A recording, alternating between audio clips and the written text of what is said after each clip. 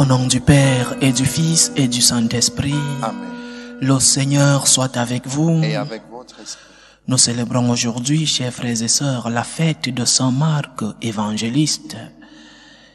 Aujourd'hui, prions avec Mireille depuis l'Allemagne, qui rend grâce au Seigneur pour le don de la vie et sa main qui l'a protégée jusqu'à ce jour de son anniversaire. Que le Seigneur bénisse sa famille, son travail, ses projets. Que le Seigneur bénisse sa mère Hélène et que l'âme de son papa Jean-Baptiste Eboy repose en paix. Prions aussi pour le repos éternel de l'âme de Marie et Sagandongo et aussi prions pour la guérison de Isabelle Denise. Préparons-nous à célébrer dignement le mystère de l'Eucharistie en reconnaissant que nous sommes des pécheurs.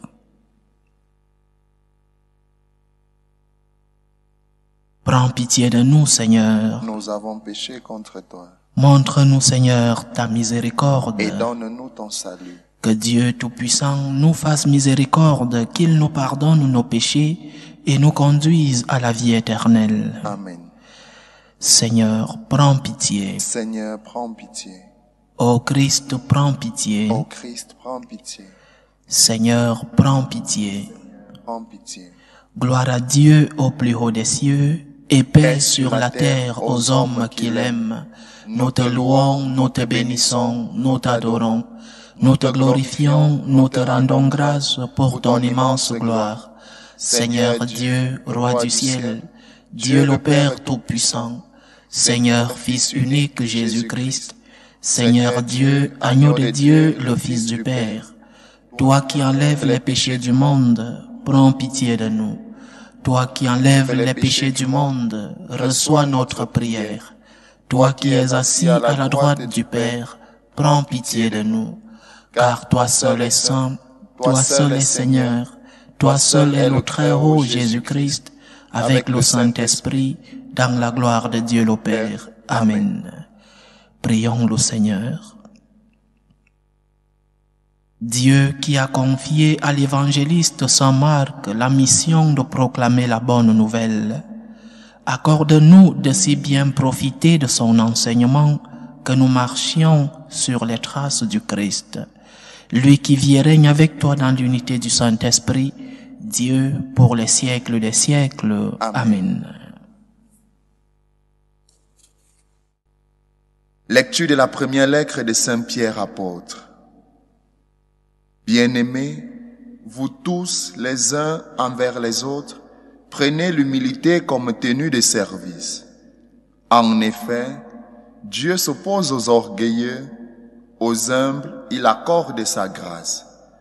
Abaissez-vous donc sous la main puissante de Dieu pour qu'il vous élève en temps voulu. Déchargez-vous sur lui de tous vos soucis, puisqu'il prend soin de vous. Soyez sobre, veillez. Votre adversaire, le diable, comme un lion rugissant, rôde, cherchant qui dévorer. Résistez-lui avec la force de la foi, car vous savez que tous vos frères, de par le monde, sont en but aux mêmes souffrances. Après que vous aurez souffert un peu de temps, le Dieu de, grâce, de toute grâce, lui qui, dans le Christ Jésus, vous a appelé à sa gloire éternelle, vous rétablira lui-même, vous affermira, vous fortifiera, vous rendra inébranlable. À lui la souveraineté pour les siècles. Amen. Par Sylvain, que je considère comme un frère digne de confiance, je vous écris ces quelques mots pour vous exhorter et pour attester que c'est vraiment dans la grâce de Dieu que vous tenez ferme. La communauté qui est à Babylone, choisie comme vous par Dieu, vous salue, ainsi que Marc, mon fils. Saluez-vous les uns les autres par un baiser fraternel. Paix à vous tous qui êtes dans le Christ. Parole du Seigneur. Grâce à Dieu. Ton amour, Seigneur, sans fin, je le chante. Ton amour, Seigneur, sans fin, je le chante. L'amour du Seigneur sans fin, je le chante, Ta fidélité, je l'annonce d'âge en âge. Je le dis, c'est un amour bâti pour toujours. Ta fidélité est plus stable que les cieux. Ton amour, Seigneur, sans fin, je le chante. Que les cieux rendent grâce pour ta merveille, Seigneur, et l'assemblée des saints pour ta fidélité. Qui donc là-haut est comparable au Seigneur? Qui d'entre les dieux est semblable au Seigneur? Ton amour, Seigneur, sans fin, je le chante. Heureux le peuple qui connaît l'ovation. Seigneur, il marche à la lumière de ta face. Tout le jour, à ton nom, il danse de joie, fier de ton juste pouvoir. Ton, amour, Seigneur, sans fin, je le chante. Alléluia, Alléluia. Alléluia. Nous proclamons un Messie crucifié. Il est puissant, il est puissance de Dieu et sagesse de Dieu. Alléluia, Alléluia. Le Seigneur soit avec vous. Et avec votre esprit. Évangile de Jésus-Christ selon Saint Marc. Gloire à toi, Seigneur. En ce temps-là, Jésus ressuscité se manifesta aux onze apôtres et leur dit, Allez dans le monde entier, proclamez l'évangile à toute la création. Celui qui croira et sera baptisé sera sauvé. Celui qui refusera de croire sera condamné. Voici les signes qui accompagneront ceux qui deviendront croyants. En mon nom, ils expulseront les démons.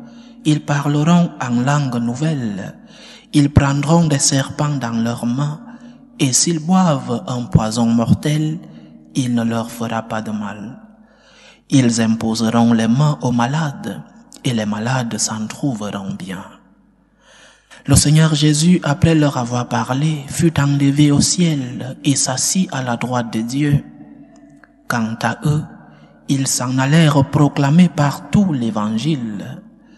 Le Seigneur travaillait avec eux et confirmait la parole par les signes qui l'accompagnaient. Acclamons la parole de Dieu. Toi, Seigneur Jésus. Chers frères et sœurs, comme je le disais au début de notre célébration eucharistique, nous célébrons la mémoire, la fête de l'évangéliste Saint Marc. Saint Marc a d'abord été compagnon de l'apôtre Paul. Il a accompagné, mais leur cheminement ne s'est pas bien terminé. C'est ainsi que Saint Marc s'est mis aux ordres de Saint Pierre. Il est devenu son secrétaire. Et c'est des mains ou alors de la bouche de Saint Pierre qu'il a écouté vu qu'il n'était pas premier témoin du message du Christ. C'est de la bouche de Saint Pierre qu'il a pu écrire l'évangile que nous connaissons comme celui de Saint Marc. Aujourd'hui, j'aimerais que nous revenions sur notre méditation d'hier, vu que l'évangile aujourd'hui nous parle aussi de certains points touchés lors de notre méditation d'hier. Hier, je parlais de cette lumière qu'est le Christ et cette lumière qui devrait éclairer notre foi, c'est-à-dire notre relation avec Dieu et en plus notre morale, c'est-à-dire comment nous comporter lorsque nous avons déjà la foi. Et l'occasion faisant le larron, le Seigneur nous parle aujourd'hui de la proclamation de l'évangile, de l'évangélisation, et il ajoute, celui qui croira et sera baptisé sera sauvé. La foi nous sauve. Une foi éclairée, une foi alimentée nous amène vers le salut. Celui qui croira et sera baptisé sera sauvé. Lorsque ta foi est bien éclairée par la lumière qu'est le Christ, lorsque ta foi est alimentée parce que tu collabores avec le Christ, collaboration par la prière, par les sacrements, par les bonnes œuvres, lorsque ta foi est éclairée et alimentée, alors tu es sur le chemin du salut parce que tu as reçu la lumière, la lumière qu'est le Christ. Le Christ qui éclaire ta foi t'amène vers le salut. Répétons, celui qui croira et sera baptisé sera sauvé. La foi te sauve. La foi te sauve ici sur la terre. Parce que lorsque viennent les problèmes de la vie, lorsque se présentent les croix de la vie, les croix quotidiennes, la croix de la maladie, la croix de la recherche d'un emploi, la croix d'une famille divisée, beaucoup de croix que nous portons dans nos vies. Lorsque viennent ces croix, lorsque vient la tempête dans ta vie, ce qui te soutient, ce qui te fortifie, c'est ta foi. Lorsque tu n'as pas de foi, tu te noies. Lorsque tu n'as pas de foi, tu lâches prise. Parce que ta foi, si elle n'est pas bien alimentée et bien éclairée, ne te donnera pas cette force dont tu as besoin pour pouvoir affronter les problèmes de la vie. La foi te sauve ici sur la terre. Combien de fois, lorsque nous sommes dans une crise de foi et que les problèmes de la vie arrivent, nous tombons. Combien de fois nous expérimentons que lorsque nous n'avons pas Dieu en premier lieu dans notre vie, les tentations sont plus croissantes. Lorsque le Seigneur n'occupe pas la première place dans ta vie, lorsque ta relation avec Dieu n'est pas bien cimentée, tu expérimentes la faiblesse. Tu expérimentes cette faiblesse qui t'empêche de lutter contre ces tentations. Alors la foi te sauve. La foi te sauve ici sur la terre. Elle t'aide à affronter les problèmes de la vie. Mais aussi, la foi t'ouvre les portes du ciel parce que cette foi a des conséquences. Les œuvres de foi, la conversion. Dans un autre évangile, le Seigneur envoie ses disciples à proclamer la bonne nouvelle et la conversion. La conversion, c'est ce que j'appelais hier la morale. Comment nous devons vivre en cohérence avec notre foi? Comment nous devons distinguer le bien et le mal et le mettre en pratique? Mettre en pratique la foi que nous confessons. C'est cela la morale. C'est cela la conversion. Aller dans le monde entier proclamer l'évangile et la conversion. La conversion quotidienne. Pose-toi des questions. Est-ce que je suis sur le bon chemin? Est-ce que je suis en cohérence? Est-ce que mes actes, mes œuvres sont en cohérence avec la foi chrétienne? Est-ce que je suis vraiment cette brebis de l'enclos de notre Seigneur? Si tu ne l'es pas, ou alors, parce que par faiblesse, nous tombons, demande pardon à Dieu. Recommence chaque jour parce que c'est cela, la foi que le Seigneur nous a laissée. Il sait que nous sommes faibles et nous devons demander pardon lorsque nous sommes tombés et recommencer, toujours recommencer. Lève-toi. Ne t'arrête pas parce que tu es tombé. Ne reste pas couché où tu es tombé. Le Seigneur, dans sa miséricorde, sait voir nos faiblesses. Le Seigneur, dans sa miséricorde, sait aussi nous relever. Lève ton regard vers le ciel. Regarde la croix du Seigneur. Cette croix, cette foi te donnera la force pour pouvoir te relever et affronter les problèmes de la vie, affronter les tentations, affronter le malin, mais surtout, cette foi te donnera la force pour pouvoir distinguer ce qui est bien et ce qui est mal et le mettre en pratique. La foi te sauve, cher frère. La foi te sauve sur la terre. La foi te sauve, chère sœur. Maintiens ta relation avec Dieu. Maintiens cette proximité avec le Seigneur. Ce Seigneur, lorsqu'il est présent dans ta vie, te remplit de son amour. Et tu expérimentes l'amour de Dieu. Et lorsque tu l'expérimentes, tu es prêt à affronter les problèmes de la vie. Tu es prêt à porter ta croix. Parce que le Seigneur nous a dit, Venez à moi, vous tous qui peinez sous le poids du fardeau, et je vous donnerai du repos. Mais il a ajouté, portez sur vous mon joug, portez vos croix, porte ta croix avec le Seigneur. Porte ta croix en demandant la force au Seigneur. Mais ne fuis pas les problèmes de la vie, parce que la vie elle-même est faite de difficultés, la vie elle-même est faite de tourmentes, de tempêtes. Donc, chers frères et sœurs, foi et conversion.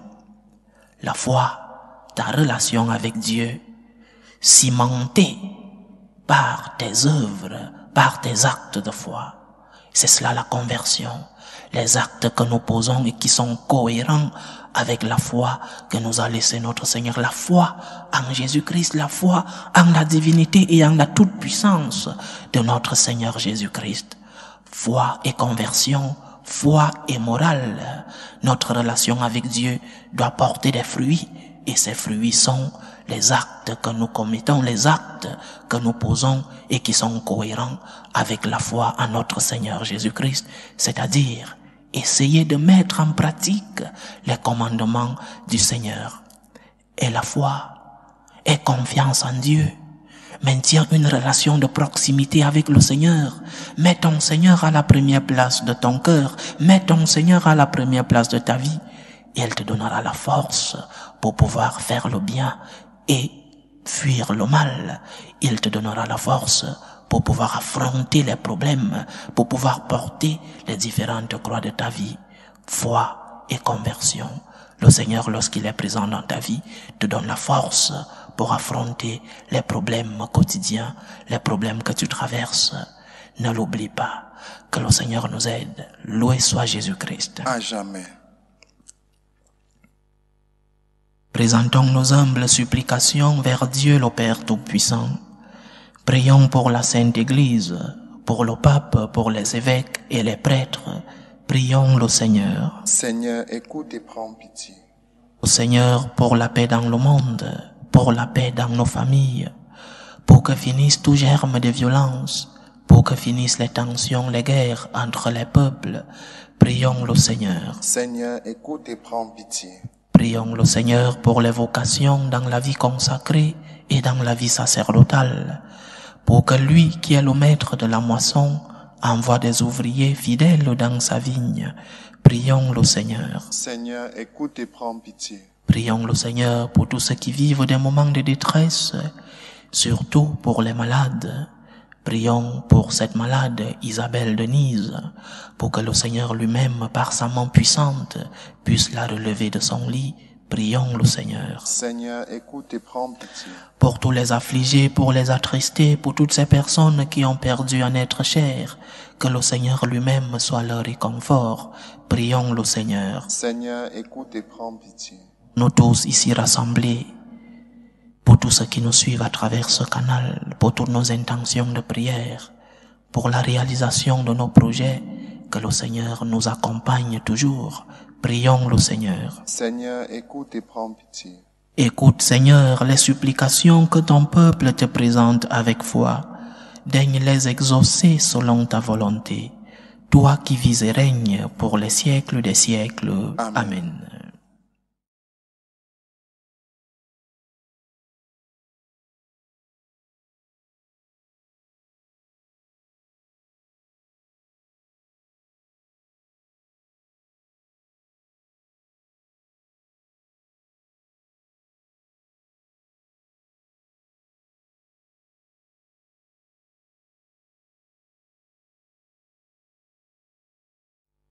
Tu es béni Seigneur, Dieu de l'univers. Nous avons reçu de ta bonté le pain que nous te présentons, fruit de la terre et du travail des hommes.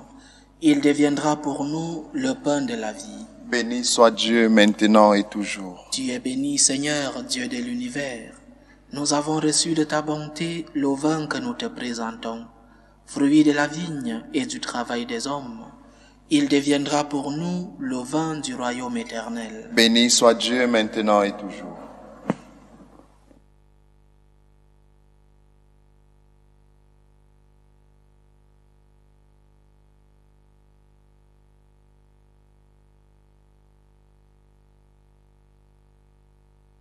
Priez, frères et sœurs, que mon sacrifice qui est aussi le vôtre soit agréable à Dieu le Père Tout-Puissant. Que le Seigneur reçoive de vos mains ce sacrifice à la louange et à la gloire de son nom, pour notre bien et celui de toute l'Église. Pour célébrer la gloire du bienheureux Marc, nous t'offrons, Seigneur, le sacrifice de louange et nous te supplions humblement que l'Évangile ne cesse jamais d'être proclamé dans ton Église. Par Jésus-Christ, ton Fils, notre Seigneur, qui vit et règne avec toi dans l'unité du Saint-Esprit, Dieu, pour les siècles des siècles. Amen. Le Seigneur soit avec vous. Et avec votre esprit. Élevons notre cœur. Nous le tournons vers le Seigneur. Grâce au Seigneur notre Dieu. Cela est juste et bon. Vraiment, il est juste et bon pour ta gloire et notre salut de t'offrir notre action de grâce toujours et en tout lieu, Seigneur Père très saint, Dieu éternel et tout-puissant. Tu n'abandonnes pas ton troupeau, pasteur éternel, mais tu le gardes par les bienheureux apôtres sous ta constante protection, pour qu'il soit dirigé par ceux-là même que tu as établis à ta tête, comme pasteur au nom de ton Fils. C'est pourquoi avec les anges et les archanges, avec la puissance d'en haut et tous les esprits bienheureux, nous chantons l'hymne de ta gloire et sans fin nous proclamons. Saint, Saint, Saint, le Seigneur Dieu de l'univers. Le ciel et la terre sont remplis de ta gloire. Hosanna au plus haut des cieux. Béni soit celui qui vient au nom du Seigneur. Hosanna au plus haut des cieux. Toi qui es vraiment saint, toi qui es la source de toute sainteté, Seigneur, nous te prions. Sanctifie ces offrandes en répandant sur elles ton esprit, qu'elles deviennent pour nous le corps et le sang de Jésus le Christ, notre Seigneur.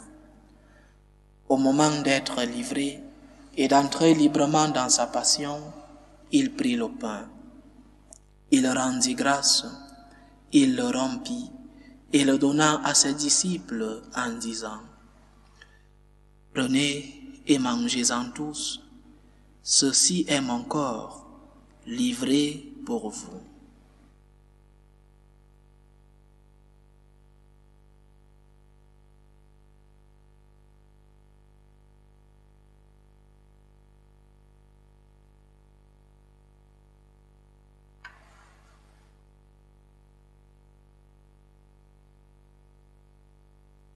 De même, après le repas, il prit la coupe.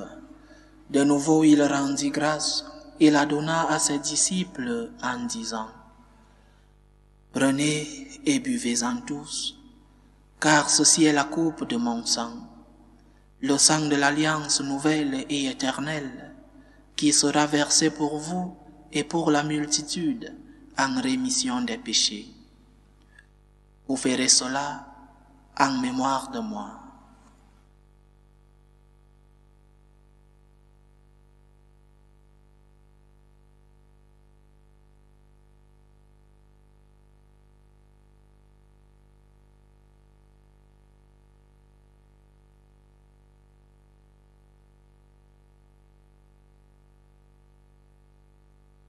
Il est grand le mystère de la foi. Nous annonçons ta mort, Seigneur Jésus.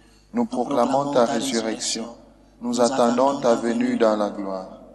En faisant ainsi mémoire de la mort et de la résurrection de ton Fils, nous t'offrons, Seigneur, le pain de la vie et la coupe du salut, et nous te rendons grâce, car tu nous as estimés dignes de nous tenir devant toi pour te servir. Humblement nous te demandons qu'en ayant part au corps et au sang du Christ, nous soyons rassemblés par l'Esprit Saint en un seul corps. Souviens-toi, Seigneur, de ton Église répandue à travers le monde. Fais-la grandir dans ta charité, en union avec le pape François, notre évêque José et tous ceux qui ont la charge de ton peuple. Souviens-toi aussi de nos frères et sœurs qui se sont endormis dans l'espérance de la résurrection. Souviens-toi de tes fils Jean-Baptiste et Boy, Marie et Sagandongo, Agnès Clarisse Atanga et Pascal Ndongo. Et souviens-toi dans ta miséricorde de tous les défunts.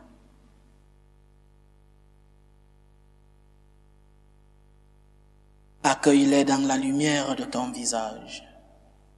Sur nous tous enfin nous implorons ta bonté. Permets qu'avec la Vierge Marie, la bienheureuse Mère de Dieu, avec Saint Joseph son époux, les apôtres et tous les saints qui ont fait ta joie au long des âges, nous ayons part à la vie éternelle et que nous chantions ta louange et ta gloire par ton Fils Jésus le Christ. Par lui, avec lui et en lui, à toi Dieu le Père Tout-Puissant, dans l'unité du Saint-Esprit, tout honneur et toute gloire pour les siècles des siècles. Amen. Comme nous l'avons appris du Sauveur et selon son commandement, nous osons dire, Notre Père qui es aux cieux, Que ton nom soit sanctifié, que ton règne vienne, que ta volonté soit faite sur la terre comme au ciel. Donne-nous aujourd'hui notre pain de ce jour. Pardonne-nous nos offenses, comme nous pardonnons aussi à ceux qui nous ont offensés. Et ne nous laisse pas entrer en tentation, mais délivre-nous du mal. Délivre-nous de tout mal, Seigneur, et donne la paix à notre temps. Soutenus par ta miséricorde, nous serons libérés de tout péché, à l'abri de toute épreuve. Nous qui attendons que se réalise cette bienheureuse espérance, l'avènement de Jésus-Christ, notre Sauveur. Car c'est à toi qu'appartiennent le règne, la puissance et la gloire pour les siècles des siècles. Seigneur Jésus-Christ, tu as dit à tes apôtres, je vous laisse la paix, je vous donne ma paix. Ne regarde pas nos péchés, mais la foi de ton Église. Pour que ta volonté s'accomplisse, donne-lui toujours cette paix et conduis-la vers l'unité parfaite. Toi qui vis et règnes pour les siècles des siècles. Amen. Que la paix du Seigneur soit toujours avec vous. Et avec votre esprit. Dans la charité du Christ, donnez-vous la paix.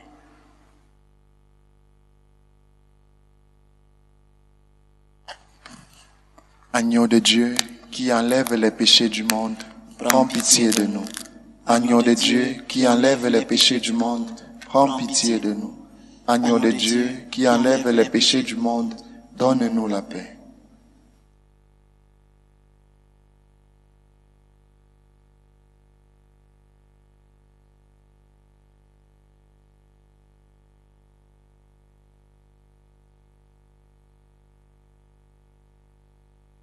Voici l'agneau de Dieu. Voici celui qui enlève les péchés du monde. Heureux les invités au repas des noces de l'agneau. Seigneur, je ne suis pas digne de te recevoir, mais dis seulement une parole et je serai guéri. Que le corps et le sang du Christ nous gardent pour la vie éternelle. Amen.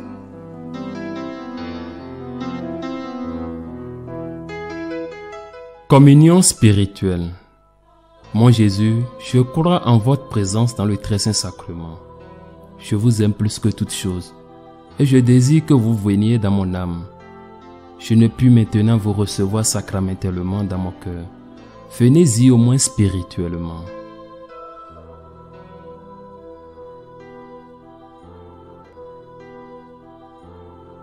Je vous embrasse comme si vous étiez déjà venu et je m'unis à vous tout entier. Ne permettez pas que j'aie jamais le malheur de me séparer de vous. Amen.